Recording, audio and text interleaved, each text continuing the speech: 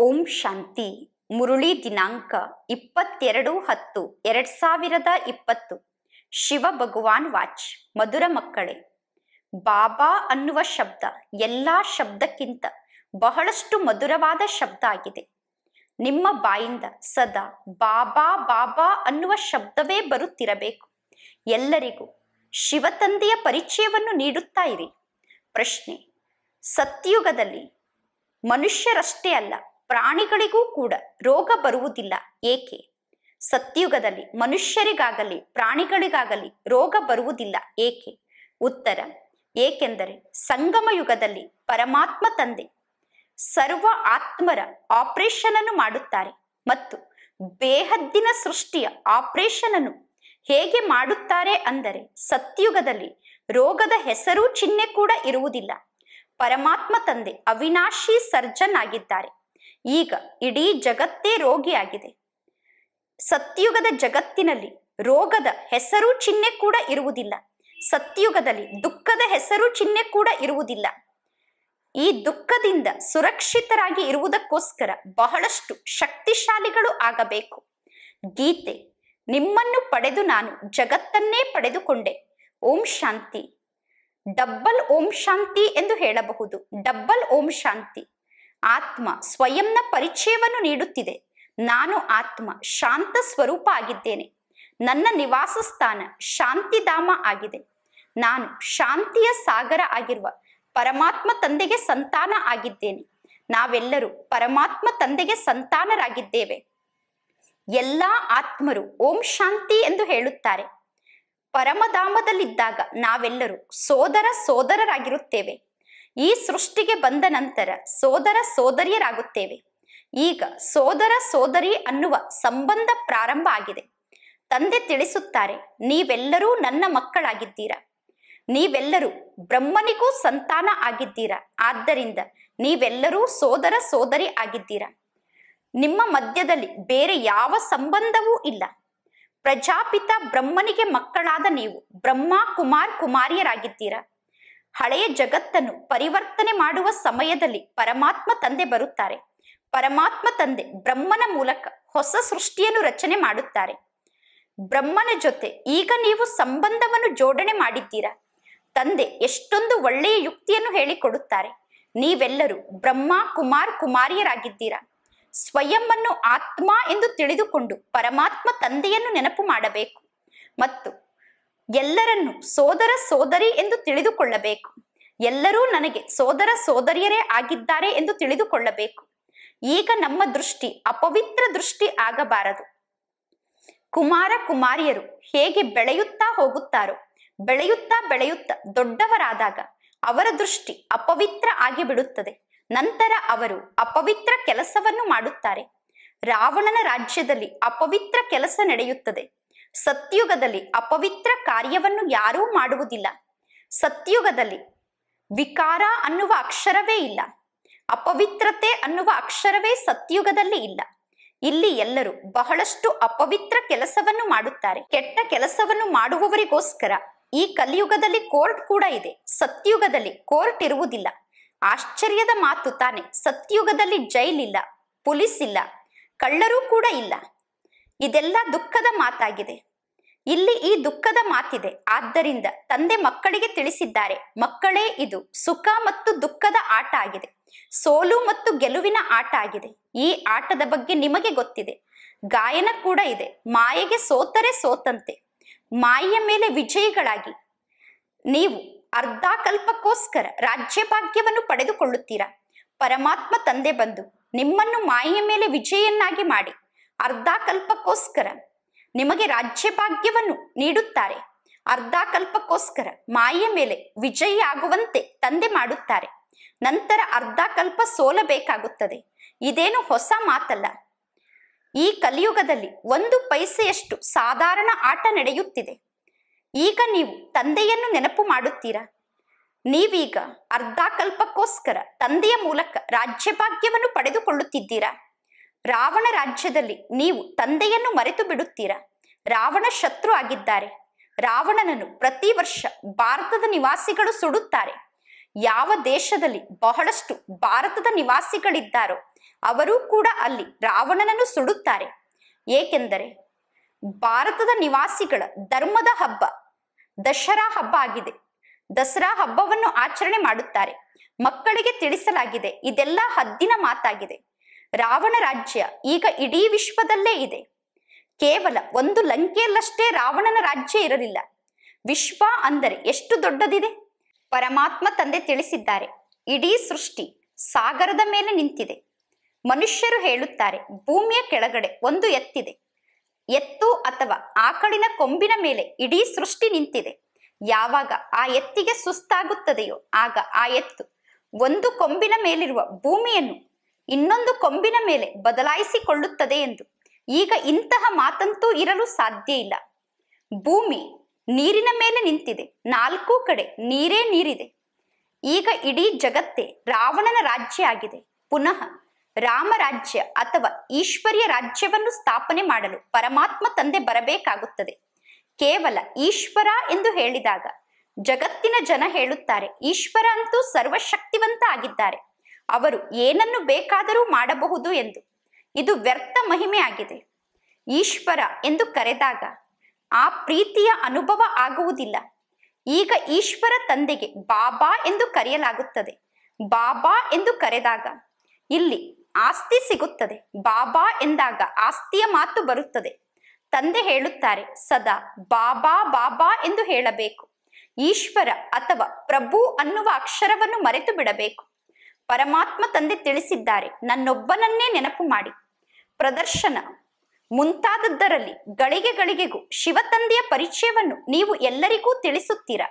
ಶಿವತಂದೆ ಶ್ರೇಷ್ಠಾತಿ ಶ್ರೇಷ್ಠ ತಂದೆ ಆಗಿದ್ದಾರೆ. ಅವರಿಗೆ ಗಾಡ್ ಫಾದರ್ ಎಂದು ಕರೆಯಲಾಗುತ್ತದೆ. ಪರಮಾತ್ಮ ತಂದೆ ಬಹಳಷ್ಟು ಮಧುರ ಆಗಿದ್ದಾರೆ. ಶುಭಾಬಾ ಶುಭಾಬಾ ಅನ್ನುವ ಅಕ್ಷರ ಬಾಯಿಂದ ಬರುತ್ತಿರಬೇಕು. ಶುಭಾಬಾ ಶುಭಾಬಾ ಎಂದು ಮನುಷ್ಯರೇ ತಮ್ಮ ಮುಖದಿಂದ ಹೇಳುತ್ತಾರೆ ತಾನೆ. ಆಕಳು ತನ್ನ ಬಾಯಿಂದ ಶುಭಾಬಾ ಎಂದು ಹೇಳಲು ಸಾಧ್ಯ ಇಲ್ಲ. ನೀವೀಗ ಶಿವಶಕ್ತಿಯರಾಗಿದ್ದೀರಾ? ನಿಮ್ಮ ಮುಖ ಕಮಲದಿಂದ ಜ್ಞಾನಾಮೃತ ಬರುತ್ತದೆ.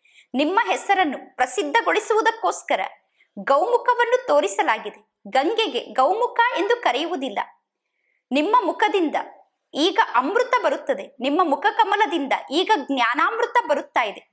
ಜ್ಞಾನಾಮೃತವನ್ನು ಕುಡಿದ ನಂತರ ಪುನಃ ವಿಷವನ್ನು ಕುಡಿಯಲು ಸಾಧ್ಯ ಇಲ್ಲ. ಅಮೃತವನ್ನು ಕುಡಿಯುವುದರಿಂದ ನೀವು ದೇವತೆ ಆಗುತ್ತೀರಾ? ಈಗ ನಾನು ಬಂದಿರುವುದೇ, ಅಸುರರನ್ನು ದೇವತೆಯನ್ನಾಗಿ ಮಾಡಲು ನೀವೀಗ ದೈವಿ ಸಂಪ್ರದಾಯದವರಾಗುತ್ತಿದ್ದೀರಾ? ಸಂಗಮ ಯುಗ ಯಾವಾಗ ಇರುತ್ತದೆ, ಹೇಗೆ ಇರುತ್ತದೆ ಅನ್ನುವುದು ಯಾರಿಗೂ ಗೊತ್ತಿಲ್ಲ.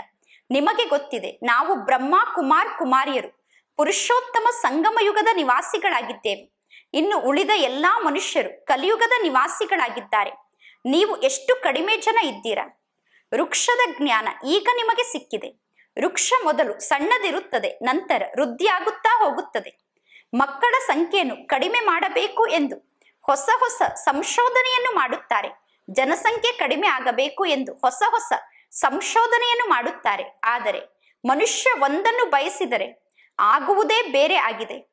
ಎಲ್ಲರಿಗೂ ಸಾವು ಬರಲೇಬೇಕು. ಈ ವರ್ಷ ಬಹಳ ಚೆನ್ನಾಗಿ ಬೆಳೆ ಬೆಳೆದಿದೆ ಎಂದು ಹೇಳುತ್ತಾರೆ. ಅಷ್ಟು ಹೊತ್ತಿಗೆ ಜೋರಾಗಿ ಮಳೆ ಬರುತ್ತದೆ. ಮಳೆ ಬಂದು ಎಲ್ಲವನ್ನೂ ನಾಶ ಮಾಡಿಬಿಡುತ್ತದೆ. ಎಷ್ಟೊಂದು ನಷ್ಟ ಆಗುತ್ತದೆ. ಪ್ರಾಕೃತಿಕ ವಿಕೋಪವನ್ನು ಯಾರೂ ಅರ್ಥ ಮಾಡಿಕೊಳ್ಳಲು ಸಾಧ್ಯ ಇಲ್ಲ. ಈಗ ಈ ಮಾತಿಗೆ ನೆಲೆಯಂತೂ ಇಲ್ಲ. ಪ್ರಾಕೃತಿಕ ವಿಕೋಪಕ್ಕೆ ನೆಲೆಯಂತೂ ಇಲ್ಲ. ಧಾನ್ಯವನ್ನು ಬಹಳಷ್ಟು ಬೆಳೆಯುತ್ತಾರೆ. ಯಾವಾಗ ಬೆಳೆ ಚೆನ್ನಾಗಿ ಬೆಳೆದಿರುತ್ತದೆಯೋ ಆಗ ಹಿಮ ಬಿದ್ದು ಬಿಡುತ್ತದೆ ಅಥವಾ ಆನೆಕಲ್ಲು ಬೀಳುತ್ತದೆ, ಆಗ ಬಹಳಷ್ಟು ನಷ್ಟ ಆಗುತ್ತದೆ. ಮಳೆ ಬರದೇ ಇದ್ದರೂ ಕೂಡ ನಷ್ಟ. ಇದಕ್ಕೆಲ್ಲ ಪ್ರಕೃತಿಯ ವಿಕೋಪ ಎಂದು ಕರೆಯಲಾಗುತ್ತದೆ. ಈ ರೀತಿ ಅನೇಕ ಆಪತ್ತುಗಳು ಬರುತ್ತದೆ. ಅದರಿಂದ ಸುರಕ್ಷಿತರಾಗಿರುವುದಕ್ಕೋಸ್ಕರ ಬಹಳಷ್ಟು ಶಕ್ತಿಶಾಲಿ ಆಗಬೇಕು. ಯಾರದ್ದಾದರೂ ಆಪರೇಷನ್ ಆದಾಗ ಕೆಲವರಿಗೆ ನೋಡಲು ಆಗುವುದಿಲ್ಲ. ಆಪರೇಷನ್ ಅನ್ನು ನೋಡಲು ಕೆಲವರಿಗೆ ಆಗುವುದಿಲ್ಲ. ಆಪರೇಷನ್ ನೋಡಿದ ತಕ್ಷಣ ಮೂರ್ಛಿತರಾಗಿ ಬಿಡುತ್ತಾರೆ. ಈಗ ಇಡೀ ಜಗತ್ತೇ ಚೀಚಿ ಜಗತ್ತಾಗಿದೆ. ಈಗ ಈ ಚೀಚಿ ಸೃಷ್ಟಿಯ ಆಪರೇಷನ್ ಆಗಲೇಬೇಕು. ಪರಮಾತ್ಮ ತಂದೆ ಹೇಳುತ್ತಾರೆ, ನಾನು ಬಂದು ಎಲ್ಲರ ಆಪರೇಷನ್ ಅನ್ನು ಮಾಡುತ್ತೇನೆ. ಇಡೀ ಸೃಷ್ಟಿ ರೋಗಿಯಾಗಿದೆ. ಅವಿನಾಶಿ ಸರ್ಜನ್ ಎಂದು ಪರಮಾತ್ಮ ತಂದೆಗೆ ಕರೆಯಲಾಗುತ್ತದೆ. ಪರಮಾತ್ಮ ತಂದೆ ಇಡೀ ವಿಶ್ವದ ಆಪರೇಷನ್ ಅನ್ನು ಮಾಡುತ್ತಿದ್ದಾರೆ. ಪರಮಾತ್ಮ ತಂದೆ ಇಡೀ ವಿಶ್ವದ ಆಪರೇಷನ್ ಅನ್ನು ಮಾಡಿದ ನಂತರ ವಿಶ್ವದಲ್ಲಿರುವಂತವರು ಎಂದೂ ದುಃಖಿಯಾಗಲು ಸಾಧ್ಯ ಇಲ್ಲ. ಪರಮಾತ್ಮ ತಂದೆ ಅಷ್ಟು ದೊಡ್ಡ ಸರ್ಜನ್ ಆಗಿದ್ದಾರೆ. ಆತ್ಮರಿಗೆ ಆಪರೇಷನ್ ಮಾಡುತ್ತಾರೆ. ಬೇಹದ್ದಿನ ಸೃಷ್ಟಿಗೆ ಆಪರೇಷನ್ ಮಾಡುತ್ತಾರೆ. ಸತ್ಯುಗದಲ್ಲಿ ಮನುಷ್ಯರಿಗೂ ರೋಗ ಇರುವುದಿಲ್ಲ. ಮನುಷ್ಯರಿಗಷ್ಟೇ ಅಲ್ಲ, ಪ್ರಾಣಿಗಳಿಗೂ ಕೂಡ ರೋಗ ಇರುವುದಿಲ್ಲ. ತಂದೆ ತಿಳಿಸುತ್ತಾರೆ, ನನ್ನ ಪಾತ್ರ ಏನಾಗಿದೆ? ಮಕ್ಕಳ ಪಾತ್ರ ಏನಾಗಿದೆ? ಅನ್ನುವುದನ್ನು ನಾನು ನಿಮಗೆ ತಿಳಿಸುತ್ತಿದ್ದೇನೆ. ರಚನೆಯ ಆದಿ, ಮಧ್ಯ, ಅಂತ್ಯದ ಜ್ಞಾನವನ್ನು ನನ್ನಿಂದ ನೀವೇ ಪಡೆದುಕೊಳ್ಳುತ್ತೀರಾ? ಇದಕ್ಕೆ ರಚನೆಯ ಆದಿ, ಮಧ್ಯ, ಅಂತ್ಯದ ಜ್ಞಾನ ಎಂದು ಕರೆಯಲಾಗುತ್ತದೆ. ಮಕ್ಕಳಿಗೆ ಮೊಟ್ಟ ಮೊದಲು ಪರಮಾತ್ಮ ತಂದೆ ನಮಗೆ ಜ್ಞಾನವನ್ನು ನೀಡುತ್ತಿದ್ದಾರೆ ಅನ್ನುವ ಖುಷಿ ಇರಬೇಕು. ಇಂದು ಸದ್ಗುರುವಾರ ಆಗಿದೆ. ಸದಾ ಸತ್ಯವನ್ನೇ ಮಾತನಾಡಬೇಕು. ವ್ಯಾಪಾರದಲ್ಲಿ ಹೇಳುತ್ತಾರೆ ತಾನೆ, ಸತ್ಯವನ್ನೇ ಮಾತನಾಡಿ ಎಂದು. ಅಸತ್ಯ ಮಾತನ್ನು ಮಾತನಾಡಬೇಡಿ ಎಂದು ಹೇಳುತ್ತಾರೆ. ಮೋಸದ ಮಾತನ್ನು ಮಾತನಾಡಬೇಡಿ ಎಂದು ವ್ಯಾಪಾರದಲ್ಲಿ ಹೇಳುತ್ತಾರೆ. ಆದರೂ ಕೂಡ ವ್ಯಾಪಾರಿಗಳು ಲೋಭಕ್ಕೆ ವಶ ಆಗಿ ಸ್ವಲ್ಪ ಜಾಸ್ತಿ ರೇಟನ್ನು ಹೇಳಿ ವ್ಯಾಪಾರವನ್ನು ಮಾಡಿಬಿಡುತ್ತಾರೆ. ಸತ್ಯವನ್ನು ಯಾರೂ ಹೇಳುವುದೇ ಇಲ್ಲ. ಸುಳ್ಳನ್ನೇ ಮಾತನಾಡುತ್ತಿರುತ್ತಾರೆ. ಆದ್ದರಿಂದ ಸತ್ಯ ತಂದೆಯನ್ನು ನೆನಪು ಮಾಡುತ್ತಾರೆ. ಹೇಳುತ್ತಾರೆ, ಸತ್ಯ ತಂದೆಯ ಹೆಸರು ಜೊತೆಗಿದೆ. ಸತ್ಯ ತಂದೆಯ ಸಂಘದಲ್ಲಿ ಇದ್ದೇವೆ ಎಂದು. ನಿಮಗೆ ಗೊತ್ತಿದೆ, ಪರಮಾತ್ಮ ತಂದೆ ಸತ್ಯ ಆಗಿದ್ದಾರೆ ಈಗ ಅವರ ಸಂಘದಲ್ಲೇ ನಾವು ವಾಪಸ್ ಹೋಗುತ್ತೇವೆ. ಆತ್ಮರಾದ ನಾವು ತಂದೆಯ ಸಂಘದಲ್ಲೇ ವಾಪಸ್ ಹೋಗುತ್ತೇವೆ. ಈಗ ನಮಗೆ ಸತ್ಯ ತಂದೆಯ ಸಂಘ ಸಿಕ್ಕಿದೆ. ಆತ್ಮರಿಗೆ ಸತ್ಯ ತಂದೆಯ ಸಂಘ ಸಿಕ್ಕಿದೆ. ನಾವೀಗ ತಂದೆಯ ಜೊತೆಗೆ ಹೋಗುತ್ತೇವೆ. ಮಕ್ಕಳಿಗೆ ಗೊತ್ತಿದೆ, ಶಿವ ತಂದೆ ಬಂದಿದ್ದಾರೆ. ಅವರಿಗೆ ಸತ್ಯ ಎಂದು ಕರೆಯಲಾಗುತ್ತದೆ. ಪರಮಾತ್ಮ ತಂದೆ ಆತ್ಮರನ್ನು ಪವಿತ್ರ ಮಾಡಿ ಜೊತೆಗೆ ಕರೆದುಕೊಂಡು ಹೋಗುತ್ತಾರೆ. ಒಂದು ಬಾರಿ ಮಾತ್ರ ಬಂದು ತಂದೆ ಮಕ್ಕಳನ್ನು ಜೊತೆಗೆ ಕರೆದುಕೊಂಡು ಹೋಗುತ್ತಾರೆ. ಸತ್ಯುಗದಲ್ಲಿ ರಾಮನಾಮನ ಸಂಘ ಜೊತೆ ಇದೆ ಅಥವಾ ಸತ್ಯ ತಂದೆಯ ಸಂಘ ಜೊತೆಗಿದೆ ಎಂದು ಹೇಳುವುದಿಲ್ಲ. ತಂದೆ ಹೇಳುತ್ತಾರೆ, ಈಗ ನಾನು ಮಕ್ಕಳ ಬಳಿ ಬಂದಿದ್ದೇನೆ. ಮಕ್ಕಳನ್ನು ನಯನದಲ್ಲಿ ಕೂರಿಸಿಕೊಂಡು ಕರೆದುಕೊಂಡು ಹೋಗುತ್ತೇನೆ. ಸ್ಥೂಲ ನಯನ ಅಲ್ಲ, ಮೂರನೇ ನೇತ್ರದಲ್ಲಿ ಕೂರಿಸಿಕೊಂಡು ಕರೆದುಕೊಂಡು ಹೋಗುತ್ತೇನೆ. ನಿಮಗೆ ಗೊತ್ತಿದೆ, ಈ ಸಮಯದಲ್ಲಿ ತಂದೆ ಬಂದಿದ್ದಾರೆ, ಜೊತೆಗೆ ಕರೆದುಕೊಂಡು ಹೋಗುತ್ತಾರೆ. ಶಂಕರನ ಮೆರವಣಿಗೆ ಇರುವುದಿಲ್ಲ. ಇದು ಶಿವನ ಮಕ್ಕಳ ಮೆರವಣಿಗೆ ಆಗಿದೆ ಪರಮಾತ್ಮ ತಂದೆ ಪತಿಗಳಿಗೆ ಪತಿ ಆಗಿದ್ದಾರೆ ತಂದೆ ಹೇಳುತ್ತಾರೆ, ನೀವೆಲ್ಲರೂ ವಧು ಆಗಿದ್ದೀರಾ? ನಾನು ವರ ಆಗಿದ್ದೇನೆ. ನೀವೆಲ್ಲರೂ ಪ್ರಿಯತಮೆ ಆಗಿದ್ದೀರಾ? ನಾನು ಪ್ರಿಯತಮ ಆಗಿದ್ದೇನೆ. ಪ್ರಿಯತಮ ಒಬ್ಬರೇ ಆಗಿದ್ದಾರೆ. ಪರಮಾತ್ಮ ತಂದೆ ಕಲ್ಪದಲ್ಲಿ ಒಂದು ಬಾರಿ ಮಾತ್ರ ಬಂದು ಪ್ರಿಯತಮ ಆಗುತ್ತಾರೆ. ಅರ್ಧ ಕಲ್ಪದಿಂದ ನೀವು ಪ್ರಿಯತಮ ಆಗಿರುವ ನನಗೆ ಪ್ರಿಯತಮೆಯರಾಗಿದ್ದೀರಾ? ಈಗ ನಾನು ಬಂದಿದ್ದೇನೆ. ಎಲ್ಲಾ ಭಕ್ತರ ಬಳಿ ಭಕ್ತರ ರಕ್ಷಣೆಯನ್ನು ಮಾಡುವಂತವರು ಭಗವಂತ ಆಗಿದ್ದಾರೆ ಆತ್ಮವೇ ಶರೀರದ ಮೂಲಕ ಭಕ್ತಿಯನ್ನು ಮಾಡುತ್ತದೆ. ಸತ್ಯುಗದಲ್ಲಿ ಭಕ್ತಿ ಇರುವುದಿಲ್ಲ. ಭಕ್ತಿಯ ಫಲವನ್ನು ನೀವು ಸತ್ಯುಗದಲ್ಲಿ ಅನುಭವ ಮಾಡುತ್ತೀರಾ? ಈಗ ಮಕ್ಕಳಿಗೆ ತಂದೆ ಜ್ಞಾನವನ್ನು ನೀಡುತ್ತಿದ್ದಾರೆ. ಭಕ್ತಿಯ ಫಲವನ್ನು ಈಗ ತಂದೆ ಮಕ್ಕಳಿಗೆ ನೀಡುತ್ತಿದ್ದಾರೆ.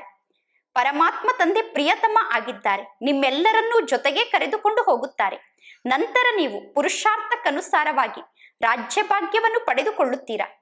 ಅನ್ನುವ ಮಾತನ್ನು ಎಲ್ಲೂ ಕೂಡ ಬರೆದಿಲ್ಲ. ಹೇಳುತ್ತಾರೆ, ಶಂಕರ ಪಾರ್ವತಿಗೆ ಅಮರ ಕಥೆಯನ್ನು ಹೇಳಿದರು ಎಂದು. ನೀವೆಲ್ಲರೂ ಪಾರ್ವತಿಯರಾಗಿದ್ದೀರಾ? ನಾನು ಕಥೆಯನ್ನು ಹೇಳುವಂತಹ ಅಮರನಾಥ ಆಗಿದ್ದೇನೆ. ಅಮರನಾಥ ತಂದೆ ಎಂದು ಒಬ್ಬ ಪರಮಾತ್ಮ ತಂದೆಗೆ ಕರೆಯಲಾಗುತ್ತದೆ. ಶ್ರೇಷ್ಠಾತಿ ಶ್ರೇಷ್ಠ ತಂದೆ ಪರಮಾತ್ಮ ಆಗಿದ್ದಾರೆ. ಅವರಿಗೆ ತಮ್ಮದೇ ಆದ ದೇಹ ಇಲ್ಲ. ಅಮರನಾಥ ತಂದೆ ಮಕ್ಕಳಿಗೆ ಅಮರ ಕಥೆಯನ್ನು ಹೇಳುತ್ತಿದ್ದಾರೆ. ಶಂಕರ ಪಾರ್ವತಿ, ಈ ಸೃಷ್ಟಿಗೆ ಎಲ್ಲಿಂದ ಬರಲು ಸಾಧ್ಯ? ಅವರು ಸೂಕ್ಷ್ಮ ವತನದ ನಿವಾಸಿಗಳಾಗಿದ್ದಾರೆ. ಸೂಕ್ಷ್ಮ ವತನದಲ್ಲಿ ಸೂರ್ಯ ಚಂದ್ರರ ಬೆಳಕು ಕೂಡ ಇರುವುದಿಲ್ಲ. ಸತ್ಯ ತಂದೆ ಈಗ ನಿಮಗೆ ಸತ್ಯ ಕಥೆಯನ್ನು ಹೇಳುತ್ತಿದ್ದಾರೆ. ತಂದೆಯನ್ನು ಬಿಟ್ಟು ಬೇರೆ ಯಾರೂ ಸತ್ಯ ಕಥೆಯನ್ನು ಹೇಳಲು ಸಾಧ್ಯ ಇಲ್ಲ. ತಂದೆ ತಿಳಿಸುತ್ತಿದ್ದಾರೆ, ಈಗ ವಿನಾಶ ಆಗುವ ಸಮಯ ಬಂದಿದೆ. ಈಗ ನಿಮಗೆ ಗೊತ್ತಿದೆ, ವಿನಾಶ ಆಗಲು ಸಮಯ ಬೇಕಾಗುತ್ತದೆ. ಇಷ್ಟು ದೊಡ್ಡ ಜಗತ್ತಿದೆ. ಇಷ್ಟೆಲ್ಲಾ ಮನೆಗಳು ಬಿದ್ದು ಸಮಾಪ್ತಿ ಆಗುತ್ತದೆ. ಭೂಕಂಪ ಆದಾಗ ಎಷ್ಟೊಂದು ನಷ್ಟ ಆಗುತ್ತದೆ. ಎಷ್ಟು ಜನ ಸಾಯುತ್ತಾರೆ. ಇನ್ನು ನಿಮ್ಮ ಸಣ್ಣ ವೃಕ್ಷ ಮಾತ್ರ ಇರುತ್ತದೆ. ದೆಹಲಿ ಸ್ವರ್ಗ ಆಗುತ್ತದೆ. ಸ್ವರ್ಗದಲ್ಲಿ ಲಕ್ಷ್ಮೀ ನಾರಾಯಣರ ರಾಜ್ಯ ಇರುತ್ತದೆ. ಅಲ್ಲಿ ಎಷ್ಟು ದೊಡ್ಡ ದೊಡ್ಡ ಮಹಲ್ಗಳು ನಿರ್ಮಾಣ ಆಗುತ್ತದೆ. ಬೇಹದ್ದಿನ ರಾಜ್ಯಭಾಗ್ಯ ನಿಮಗೆ ಸಿಗುತ್ತದೆ. ನೀವೀಗ ಏನನ್ನೂ ಖರ್ಚು ಮಾಡುವ ಅವಶ್ಯಕತೆ ಇಲ್ಲ. ತಂದೆ ಹೇಳುತ್ತಾರೆ, ಈ ಬ್ರಹ್ಮ ತಂದೆಯ ಜೀವನದ ಸಮಯದಲ್ಲಿ ಆಹಾರ ಧಾನ್ಯದ ಬೆಲೆ ಎಷ್ಟೊಂದು ಕಡಿಮೆ ಇತ್ತು ಅಂದ ಮೇಲೆ ಸತ್ಯುಗದಲ್ಲಿ ಆಹಾರ ಧಾನ್ಯದ ಬೆಲೆ ಎಷ್ಟು ಕಡಿಮೆ ಇರಬಹುದು? ದೆಹಲಿಯಷ್ಟು ದೊಡ್ಡ ಜಾಗದಲ್ಲಿ ಒಬ್ಬೊಬ್ಬರ ಮನೆ ಇರುತ್ತದೆ. ದೆಹಲಿಯಷ್ಟು ದೊಡ್ಡದಾಗಿ ನಿಮ್ಮ ಜಮೀನ್ ಇರುತ್ತದೆ. ದೆಹಲಿ ನಗರದಷ್ಟು ದೊಡ್ಡ ಜಮೀನ್ ಒಬ್ಬೊಬ್ಬರಿಗೂ ಸತ್ಯುಗದಲ್ಲಿ ಸಿಕ್ಕಿರುತ್ತದೆ. ಒಬ್ಬೊಬ್ಬರ ಮನೆ ದೆಹಲಿ ನಗರದಷ್ಟು ದೊಡ್ಡದು ಸತ್ಯುಗದಲ್ಲೇ ಇರುತ್ತದೆ. ಮಧುರವಾದ ನದಿಯ ದಡದಲ್ಲಿ ನಿಮ್ಮ ರಾಜ್ಯ ಇರುತ್ತದೆ.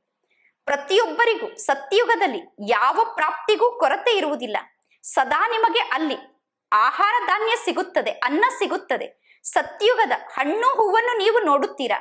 ಸತ್ಯುಗದ ಹಣ್ಣು ಹೂವು ಕೂಡ ದೊಡ್ಡ ದೊಡ್ಡ ಸೈಜ್ನಲ್ಲಿ ಇರುತ್ತದೆ. ನೀವು ಸಾಕ್ಷಾತ್ಕಾರದಲ್ಲಿ ಸತ್ಯುಗಕ್ಕೆ ಹೋಗಿ ಶೂಭಿರಸವನ್ನು ಕುಡಿದುಕೊಂಡು ಬರುತ್ತೀರಾ? ಪುನಃ ಹೇಳುತ್ತೀರಾ?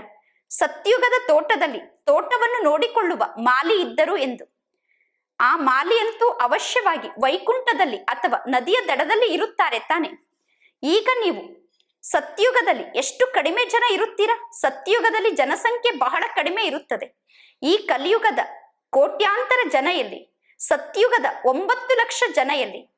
ನಿಮಗೋಸ್ಕರ ಎಲ್ಲಾ ಪ್ರಾಪ್ತಿ ಸಿಗುತ್ತದೆ. ತಂದೆ ಇಂತಹ ರಾಜ್ಯವನ್ನು ನೀಡುತ್ತಾರೆ. ಆ ರಾಜ್ಯವನ್ನು ನಮ್ಮಿಂದ ಯಾರೂ ಕಿತ್ತುಕೊಳ್ಳಲು ಸಾಧ್ಯ ಇಲ್ಲ. ಆಕಾಶ, ಭೂಮಿ ಎಲ್ಲದಕ್ಕೂ ನೀವು ಮಾಲೀಕರಾಗುತ್ತೀರಾ? ಮಕ್ಕಳು ಗೀತೆಯನ್ನು ಕೇಳಿದಿರಿ. ಇಂತಿಂತಹ ಆರು ಗೀತೆ, ಎಂಟು ಗೀತೆಯನ್ನು ನಿಮ್ಮ ಬಳಿ ಇಟ್ಟುಕೊಳ್ಳಬೇಕು. ಆ ಗೀತೆಯನ್ನು ಕೇಳಿದ ತಕ್ಷಣ ನಿಮಗೆ ಖುಷಿಯ ನಶೆ ಏರಿಬಿಡಬೇಕು. ನೋಡಿ, ಕೆಲವೊಮ್ಮೆ ಮಕ್ಕಳ ಸ್ಥಿತಿ ಬಹಳಷ್ಟು ಏರುಪೇರಾಗಿರುತ್ತದೆ. ಅಂತಹ ಸಮಯದಲ್ಲಿ ಗೀತೆಯನ್ನು ಹಾಕಿಕೊಂಡು ಕೇಳಿ. ಇದು ಖುಷಿಯ ಗೀತೆಯಾಗಿದೆ ಈ ಗೀತೆಯ ಅರ್ಥ ನಿಮಗೆ ಗೊತ್ತಿದೆ. ಪರಮಾತ್ಮ ತಂದೆ ಬಹಳಷ್ಟು ಯುಕ್ತಿಯನ್ನು ಹೇಳುತ್ತಾರೆ. ಸ್ವಯಂವನ್ನು ಹರ್ಷಿತ ಮುಖಿಯನ್ನಾಗಿ ಮಾಡಿಕೊಳ್ಳಲು ಗೀತೆಯನ್ನು ಕೇಳಬೇಕು. ಬಾಬಾರವರಿಗೆ ಮಕ್ಕಳು ಬರೆಯುತ್ತಾರೆ, ಬಾಬಾ, ಅಷ್ಟೊಂದು ಖುಷಿ ಇರುವುದಿಲ್ಲ, ಮಾಯ ಬಿರುಗಾಳಿ ಬರುತ್ತದೆ ಎಂದು. ಮಾಯ ಬಿರುಗಾಳಿ ಬರಲಿ, ಆದರೆ ನೀವು ಖುಷಿಯಿಂದ ವಾದ್ಯವನ್ನು ಮೊಳಗಿಸಿ. ದೊಡ್ಡ ದೊಡ್ಡ ಮಂದಿರದ ಹೊರಗಡೆ ಖುಷಿಯಲ್ಲಿ ವಾದ್ಯಗಳನ್ನು ಮೊಳಗಿಸುತ್ತಿರುತ್ತಾರೆ. ಖುಷಿಯ ಅನುಭವವನ್ನು ಮಾಡುವುದಕ್ಕೋಸ್ಕರ, ಎಲ್ಲರಿಗೂ ಖುಷಿಯನ್ನು ನೀಡುವುದಕ್ಕೋಸ್ಕರ ಮಂದಿರದ ಹೊರಗಡೆ ವಾದ್ಯಗಳನ್ನು ನುಡಿಸುತ್ತಿರುತ್ತಾರೆ. ಬಾಂಬೆಯಲ್ಲಿ, ಮಾಧವ್ ಬಾಗ್ನಲ್ಲಿ ಲಕ್ಷ್ಮೀ ನಾರಾಯಣರ ಮಂದಿರದ ಹೊರಗಡೆ ಸದಾ ವಾದ್ಯಗಳು ಮೊಳಗುತ್ತಿರುತ್ತದೆ. ನಿಮಗೂ ಜನ ಹೇಳುತ್ತಾರೆ, ನೀವು ಇಲ್ಲಿ ಫಿಲಂನ ಹಾಡನ್ನು ಏಕೆ ಹಾಕುತ್ತೀರಾ ಎಂದು. ಅವರಿಗೆ ಇದೂ ಕೂಡ ಗೊತ್ತಿಲ್ಲ, ನಾಟಕದ ಅನುಸಾರ. ಈ ಫಿಲಂನ ಹಾಡುಗಳು ನಮ್ಮ ಕೆಲಸಕ್ಕೆ ಬರುತ್ತದೆ.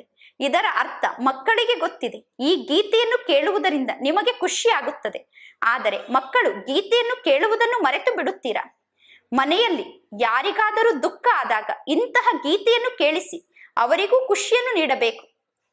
ಮನೆಯಲ್ಲಿ ಯಾರಿಗಾದರೂ ದುಃಖ ಆದಾಗ ಇಂತಹ ಗೀತೆಯನ್ನು ಕೇಳಿ ಬಹಳಷ್ಟು ಖುಷಿಯ ಅನುಭವ ಮಾಡಬೇಕು. ಗೀತೆಗಳು ಬಹಳಷ್ಟು ಬೆಲೆ ಬಾಳುವಂತದ್ದಾಗಿದೆ. ಸುಂದರವಾದ ಈ ಗೀತೆಗಳು ಬಹಳಷ್ಟು ಬೆಲೆ ಬಾಳುವ ವಸ್ತು ಆಗಿದೆ. ಯಾವಾಗ ಮನೆಯಲ್ಲಿ ಜಗಳ ನಡೆಯುತ್ತದೆಯೋ ಆಗ ಹೇಳಬೇಕು. ಭಗವಾನ್ ವಾಚ್ ಆಗಿದೆ ಕಾಮ ಮಹಾಶತ್ರು ಆಗಿದೆ ಎಂದು ಕಾಮ ಮಹಾಶತ್ರುವಿನ ಮೇಲೆ ವಿಜಯವನ್ನು ಪಡೆದುಕೊಳ್ಳುವುದರಿಂದ ನಾವು ವಿಶ್ವಕ್ಕೆ ಮಾಲೀಕರಾಗುತ್ತೇವೆ. ಸತ್ಯುಗದಲ್ಲಿ ಹೂಗಳ ಮಳೆ ಸುರಿಯುತ್ತದೆ, ಜೈ ಜೈಕಾರ ಆಗುತ್ತದೆ. ಚಿನ್ನದ ಹೂವಿನ ಮಳೆ ಸುರಿಯುತ್ತದೆ. ಈಗಂತೂ ನೀವು ಮುಳ್ಳಿನಿಂದ ಚಿನ್ನದ ಹೂ ಆಗುತ್ತಿದ್ದೀರಾ? ಸತ್ಯುಗದಲ್ಲಿ ನಿಮ್ಮ ಅವತರಣೆ ಆಗುತ್ತದೆ. ಸತ್ಯುಗದಲ್ಲಿ ಹೂವಿನ ಮಳೆ ಸುರಿಯುವುದಿಲ್ಲ, ಆದರೆ ನೀವು ಸ್ವಯಂ ಹೂವಾಗಿ ಸತ್ಯುಗದಲ್ಲಿ ಬರುತ್ತೀರಾ? ಜಗತ್ತಿನ ಮನುಷ್ಯರು ತಿಳಿದುಕೊಂಡಿದ್ದಾರೆ ಚಿನ್ನದ ಹೂವಿನ ಮಳೆ ಸುರಿಯುತ್ತದೆ ಎಂದು. ಒಬ್ಬ ರಾಜಕುಮಾರ ವಿದೇಶಕ್ಕೆ ಹೋಗಿದ್ದರು. ಅಲ್ಲಿ ಅವರಿಗೋಸ್ಕರ ಪಾರ್ಟಿಯನ್ನು ಮಾಡಲಾಗಿತ್ತು. ಆ ಪಾರ್ಟಿಯಲ್ಲಿ ಆ ರಾಜಕುಮಾರನಿಗೋಸ್ಕರ ಚಿನ್ನದ ಹೂವನ್ನು ನಿರ್ಮಾಣ ಮಾಡಿಸಿದ್ದರು. ಎಲ್ಲರ ತಲೆಯ ಮೇಲೂ ಚಿನ್ನದ ಹೂವಿನ ಮಳೆಯನ್ನು ಸುರಿಸಿದರು. ರಾಜಕುಮಾರ ಬಂದಿದ್ದಾರೆ ಅನ್ನುವ ಖುಷಿಯ ಕಾರಣ ಚಿನ್ನದ ಹೂವನ್ನು ನಿರ್ಮಾಣ ಮಾಡಿಸಿ ರಾಜಕುಮಾರನಿಗೆ ಎಷ್ಟೊಂದು ಕಾಳಜಿ ಮಾಡಿದರು. ಎಷ್ಟು ಚೆನ್ನಾಗಿ ನೋಡಿಕೊಂಡರು. ಸತ್ಯ ಸತ್ಯ ಚಿನ್ನದಿಂದ ಹೂವನ್ನು ನಿರ್ಮಾಣ ಮಾಡಿಸಿದ್ದರು. ಬ್ರಹ್ಮ ತಂದೆಗೆ, ಆ ರಾಜಕುಮಾರ ಯಾವ ರಾಜ್ಯದ ರಾಜಕುಮಾರ ಅನ್ನುವುದು ಕೂಡ ಚೆನ್ನಾಗಿ ಗೊತ್ತಿದೆ. ವಾಸ್ತವದಲ್ಲಿ ನೀವೀಗ ಹೂಗಳಾಗಿ ಈ ಸೃಷ್ಟಿಗೆ ಬರುತ್ತೀರಾ? ಚಿನ್ನದ ಹೂವಾಗಿ ನೀವು ಪರಮಧಾಮದಿಂದ ಕೆಳಗಡೆ ಬರುತ್ತೀರಾ? ಈಗ ಮಕ್ಕಳಿಗೆ ಎಷ್ಟು ದೊಡ್ಡ ಲಾಟ್ರಿ ಸಿಕ್ಕಿದೆ? ವಿಶ್ವದ ರಾಜ್ಯಭಾಗ್ಯದ ಲಾಟ್ರಿ. ಲೌಕಿಕ ತಂದೆ ಮಕ್ಕಳಿಗೆ ಹೇಳುತ್ತಾರೆ, ಮಕ್ಕಳಿಗೋಸ್ಕರ ನಾನು ಈ ವಸ್ತುವನ್ನು ಉಡುಗೊರೆಯಾಗಿ ತಂದಿದ್ದೇನೆ ಎಂದು. ತಂದೆ ತಂದಿರುವ ಉಡುಗೊರೆಯನ್ನು ನೋಡಿ ಲೌಕಿಕ ಮಕ್ಕಳಿಗೆ ಎಷ್ಟೊಂದು ಖುಷಿಯಾಗುತ್ತದೆ. ಶಿವ ತಂದೆ ಹೇಳುತ್ತಾರೆ, ನಿಮಗೋಸ್ಕರ ನಾನು ಸ್ವರ್ಗವನ್ನು ತಂದಿದ್ದೇನೆ. ಸ್ವರ್ಗದಲ್ಲಿ ನೀವು ರಾಜ್ಯವನ್ನು ಆಳುತ್ತೀರಾ? ಅಂದ ಮೇಲೆ ನಿಮಗೆ ಎಷ್ಟೊಂದು ಖುಷಿ ಇರಬೇಕು? ಯಾವುದಾದರೂ ಸಣ್ಣ ವಸ್ತುವನ್ನು ತಂದೆ ಉಡುಗೊರೆಯಾಗಿ ನೀಡಿದರೆ ಮಕ್ಕಳು ಹೇಳುತ್ತಾರೆ, ಬಾಬಾ, ನೀವು ನಮಗೋಸ್ಕರ ವಿಶ್ವದ ರಾಜ್ಯಭಾಗ್ಯವನ್ನು ನೀಡುತ್ತಿದ್ದೀರಾ? ಈ ಉಡುಗೊರೆ ಏಕೆ? ಎಂದು. ಅರೆ ಶಿವತಂದೆಯ ನೆನಪಾರ್ಥವಾದ ಉಡುಗೊರೆ ನಿಮ್ಮ ಜೊತೆಗಿದ್ದರೆ ಶಿವತಂದೆಯ ನೆನಪು ನಿಮಗೆ ಬರುತ್ತಿರುತ್ತದೆ. ಶಿವತಂದೆಯ ನೆನಪು ಬಂದಾಗ ನಿಮಗೆ ಪದುಮದಷ್ಟು ಪ್ರಾಪ್ತಿ ಸಿಗುತ್ತದೆ. ಒಳ್ಳೆಯದು, ಮಧುರಾತಿ ಮಧುರ, ಅಗಲಿ ಹೋಗಿ ಮರಳಿ ಸಿಕ್ಕಿರುವ ಮಕ್ಕಳ ಪ್ರತಿ, ಮಾತ್ಪಿತಾ ಬಾಪ್ತಾದರವರ ನೆನಪು, ಪ್ರೀತಿ ಹಾಗೂ ಸುಪ್ರಭಾತ. ಆತ್ಮಿಕ ಮಕ್ಕಳಿಗೆ ಆತ್ಮಿಕ ತಂದೆಯ ನಮಸ್ತೆ. ಆತ್ಮಿಕ ತಂದೆಗೆ ಆತ್ಮಿಕ ಮಕ್ಕಳ ನೆನಪು, ಪ್ರೀತಿ ಹಾಗೂ ನಮಸ್ತೆ ನಮಸ್ತೆ ನಮಸ್ತೆ. ಧಾರಣೆಗೋಸ್ಕರ ಮುಖ್ಯ ಸಾರ ಫಸ್ಟ್ ಪಾಯಿಂಟ್ ಸತ್ಯ ತಂದೆಯ ಸಂಘದಲ್ಲಿದ್ದು, ತಂದೆಯ ಜೊತೆಗೆ ವಾಪಸ್ ಮನೆಗೆ ಹೋಗಬೇಕು. ಆದ್ದರಿಂದ ತಂದೆಯ ಜೊತೆ ಸದಾ ಸತ್ಯತೆಯಿಂದ ವ್ಯವಹಾರವನ್ನು ಮಾಡಬೇಕು. ಎಂದೂ ಸುಳ್ಳನ್ನು ಮಾತನಾಡಬಾರದು. ಸೆಕೆಂಡ್ ಪಾಯಿಂಟ್ ನಾವು ಬ್ರಹ್ಮ, ತಂದೆಯ ಮಕ್ಕಳು, ಪರಸ್ಪರ ಸೋದರ, ಸೋದರಿ ಆಗಿದ್ದೇವೆ. ಆದ್ದರಿಂದ ಅಪವಿತ್ರ ಕೆಲಸವನ್ನು ಮಾಡಬಾರದು. ಸೋದರ ಸೋದರ ಮತ್ತು ಸೋದರ ಸೋದರಿ ಅನ್ನುವ ಸಂಬಂಧವನ್ನು ಬಿಟ್ಟು ಬೇರೆ ಯಾವ ಸಂಬಂಧದ ಅಭಿಮಾನ ಕೂಡ ಇರಬಾರದು. ವರದಾನ, ಲೋಕಕ್ಕೆ ಇಷ್ಟ ಆಗುವಂತಹ, ಲೋಕ ಪಸಂದ್ ಸಭೆಯ ಟಿಕೆಟ್ ಅನ್ನು ಬುಕ್ ಮಾಡಿಕೊಳ್ಳುವಂತಹ ರಾಜ್ಯ ಸಿಂಹಾಸನಕ್ಕೆ ಅಧಿಕಾರಿಗಳಾಗಿ, ಲೋಕಕ್ಕೆ ಇಷ್ಟ ಆಗುವಂತಹ ಸಭೆಯ ಟಿಕೆಟ್ ಅನ್ನು ಬುಕ್ ಮಾಡಿಕೊಳ್ಳುವಂತಹ ರಾಜ್ಯ ಸಿಂಹಾಸನಕ್ಕೆ ಅಧಿಕಾರಿಯಾಗಿ ಯಾವುದೇ ಸಂಕಲ್ಪ ಅಥವಾ ವಿಚಾರವನ್ನು ಮಾಡುವಾಗ ಮೊದಲು ಚೆಕ್ ಮಾಡಿಕೊಳ್ಳಿ. ನನ್ನ ವಿಚಾರ, ನನ್ನ ಸಂಕಲ್ಪ ಬಾಬಾರವರಿಗೆ ಇಷ್ಟ ಆಗುತ್ತದೆಯಾ? ಯಾವ ಸಂಕಲ್ಪ ಪರಮಾತ್ಮ ತಂದೆಗೆ ಇಷ್ಟ ಆಗುತ್ತದೆಯೋ? ಅದು ಲೋಕದ ಸರ್ವ ಆತ್ಮರಿಗೂ ಸ್ವತಃ ಇಷ್ಟ ಆಗುತ್ತದೆ. ಒಂದು ವೇಳೆ ನಮ್ಮ ಯಾವುದಾದರೂ ಸಂಕಲ್ಪದಲ್ಲಿ ಸ್ವಾರ್ಥ ಇತ್ತು ಅಂದರೆ ಆ ಸ್ವಾರ್ಥದ ಸಂಕಲ್ಪ ಮನಸ್ಸಿಗೆ ಇಷ್ಟ ಆಗುವಂತಹ ಸಂಕಲ್ಪ ಆಗಿರುತ್ತದೆ. ಮತ್ತು ಯಾವ ಸಂಕಲ್ಪದಲ್ಲಿ ವಿಶ್ವ ಕಲ್ಯಾಣದ ಭಾವನೆ ಇದೆಯೋ ಅದು ಲೋಕಕ್ಕೆ ಇಷ್ಟ ಆಗುತ್ತದೆ ಅಥವಾ ಪ್ರಭುವಿಗೆ ಇಷ್ಟ ಆಗುತ್ತದೆ. ಲೋಕಕ್ಕೆ ಇಷ್ಟ ಆಗುವಂತಹ ಸಂಕಲ್ಪವನ್ನು ಮಾಡಿ. ಲೋಕಕ್ಕೆ ಇಷ್ಟ ಆಗುವಂತಹ ಸಭೆಯ ಮೆಂಬರ್ ಆಗಬೇಕು. ಅಂದರೆ ಕಾನೂನಿನಂತೆ ನಡೆಯಬೇಕು. ಆರ್ಡರ್ನಂತೆ ರಾಜ್ಯವನ್ನು ನಡೆಸುವ ರಾಜ್ಯ ಅಧಿಕಾರಿ ಆಗಬೇಕು. ಅಥವಾ ರಾಜ್ಯ ಸಿಂಹಾಸನವನ್ನು ಪಡೆದುಕೊಳ್ಳಬೇಕು. ಶ್ಲೋಗನ್ ಪರಮಾತ್ಮ ತಂದೆಯ ಜೊತೆಯ ಅನುಭವವನ್ನು ಮಾಡಿ. ಆಗ ಎಲ್ಲಾ ಮಾತಿನ ಅನುಭವ ಸಹಜವಾಗಿ ಆಗುತ್ತದೆ ಮತ್ತು ನೀವು ಸುರಕ್ಷಿತರಾಗಿರುತ್ತೀರಾ? ತಂದೆಯ ಜೊತೆಯ ಅನುಭವ ಮಾಡಿ. ಆಗ ಎಲ್ಲಾ ಅನುಭವ ಸಹಜವಾಗಿ ಆಗುತ್ತದೆ ಮತ್ತು ನೀವು ಸುರಕ್ಷಿತರಾಗಿರುತ್ತೀರಾ? ಒಳ್ಳೆಯದು. ಓಂ ಶಾಂತಿ.